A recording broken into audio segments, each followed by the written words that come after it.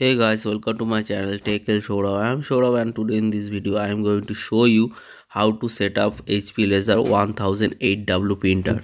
This is one of my client new printer. Its name is hp laser 1008w printer. It's need to be set up with laptop with wi-fi. To set up the printer first open google chrome. After opening google chrome search hp laser 1008w printer driver after searching open the website that will show you first after opening the website you can see the driver option and go there to download the driver. After the driver download install the driver by double clicking on the driver. Then let's say one thing here is that i'm going to make a wireless network connection so i'm going to click on wireless network connection and set up the printer with a wireless network. Then click next. Then click to i will set up my printer wireless network and click to next. First if you want to connect with usb you have to insert the usb connection of the printer into the usb port of the laptop.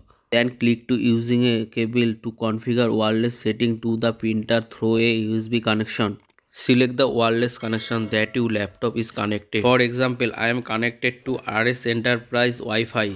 Select wireless network connection and click next button.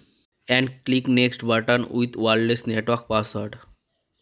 After clicking the next button, you will see that it will take some time to connect after that you click to next button. It will take some time to set up the printer. The setup of printer is totally ready. Now check the print with paper to see if the printer is ready or not. Now printer is setup is ready. I hope this video help you. Please share it with your friends also. If you have any doubt related to this let us know in the comment box below. If you like the video don't forget to like share and subscribe to the channel